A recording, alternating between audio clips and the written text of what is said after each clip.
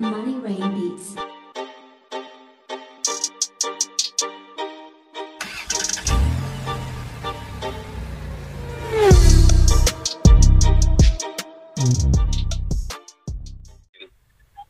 నేను అనేది ఏంటంటే ఎన్నో లక్షలు కోట్లు ఇవన్నీ వృధా అవుతున్నాయి సార్. పాఠశాలల మీద ఎందుకు ఇంత అశ్రద్ధ జరుగుతుంది అనేది ఆ, కొంత ఇక్కడ మేము స్థానికంగా ఉండి చూస్తున్నాం కాబట్టి బాధపడుతున్నాం సార్ పాఠశాలలో.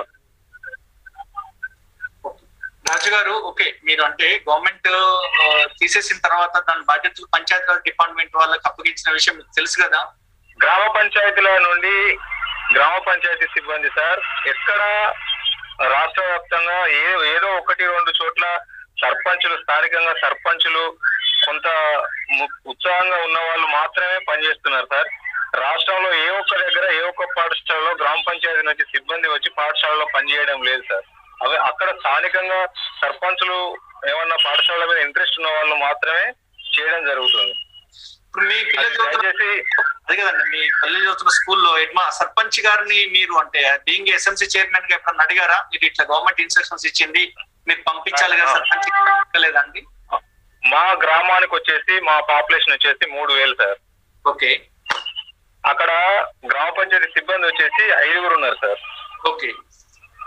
అక్కడ గ్రామంలోనే డ్రైనేజ్ క్లీన్ చేయక లైటింగ్ బంద్ చేయడం పంపింగ్ నల్లాల పంపింగ్ వాటికే సరిపోవట్లేదు సార్ వాళ్ళు.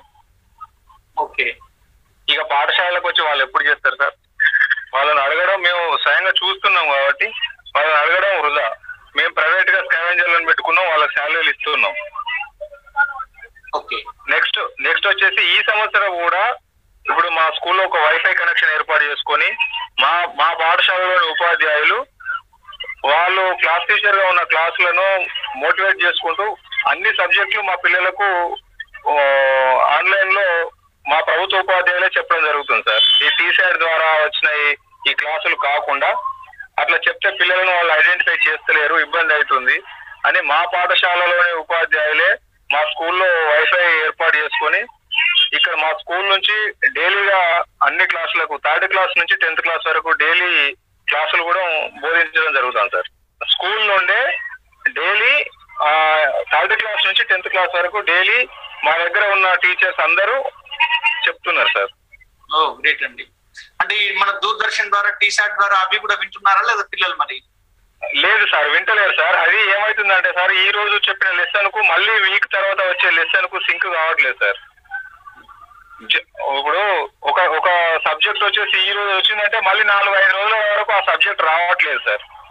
దానివల్ల పిల్లలు సరిగ్గా వాళ్ళ విధానం కరెక్ట్ ఉంటలేదు అన్నట్టు మేము ఈ వైఫై కనెక్షన్ ఏర్పాటు చేసుకొని మా సార్ వాళ్ళు రిక్వెస్ట్ చేస్తే వాళ్ళు కూడా ముందుకు వచ్చి ఇట్లా క్లాసులు చెప్తున్నారు సార్. ఇది ఇప్పుడు మన పాఠశాలలు పచ్చగా చెట్లకు నీళ్ళు కొట్టాలన్నా ఒక స్కావెంజర్ ఆయమ్మలు వాళ్ళే చేస్తారు కదా. టీచర్లు అయితే ఇప్పుడు ఇప్పుడు ఏం చేయాలన్నా ఒక కిచెన్ గార్డెన్ ఉంది సార్. ఇప్పుడు మళ్ళొకటి సార్ ఇప్పుడు నెక్స్ట్ ఫస్ట్ నుంచి నైన్త్ టెన్త్కు క్లాసులు స్టార్ట్ చేస్తాం ఆఫ్లైన్ అంటున్నారు. ఉమ్, ఇది ఒకటి మీరు దయచేసి అంటే ఈ సబ్జెక్ట్ తోటి సంబంధం లేదు కానీ మీరు అందరు దయచేసి ఇందులో ఉన్న పెద్దలందరూ ఒకసారి ఆలోచన చేయండి. ఉమ్, మిడ్ డే వాళ్ళకు మిడ్ డే మీల్స్ పెట్టాలంటే నైన్త్ టెన్త్ వాళ్ళకే పిల్లలకే అంటే ఆ వంట వండే వాళ్ళు ముందుకు రారు సార్ ఎవరు. మాకు తక్కువ మంది పిల్లలు ఉన్నారు కాబట్టి మాకు కూలికి చదువు లాస్ట్ ఇయర్ ఇది కొంత అనుభవించినాం సార్ మేము. మాకు తక్కువ మంది పిల్లలు ఉన్నారు కాబట్టి మాకు కూలి పడదు కాబట్టి మేము రాము అని మళ్ళా ఎవరు ఆ, వంట వండడానికి ముందుకు రాని పరిస్థితి కూడా ఉంటుంది సార్. మరి అప్పుడు ఏం చేస్తారు? మళ్ళీ పిల్లలకు మళ్ళీ అన్యాయం జరుగుతుంది కదా. స్కూల్కి వచ్చిన తర్వాత మధ్యాహ్న భోజనం లేకుంటే మళ్ళీ ఇబ్బంది అవుతుంది కదా. అనేది కూడా ఒకటి మీరు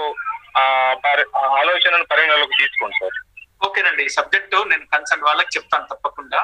అంటే గతంలో వన్ మంత్ పనిచేసినట్టు ఇట్లా ఇక్కడ కూడా మిడ్ డే మీల్ పెట్టట్లేదు అన్నది మాత్రం మన నోటీస్కి రాలేదండి రాజు గారు.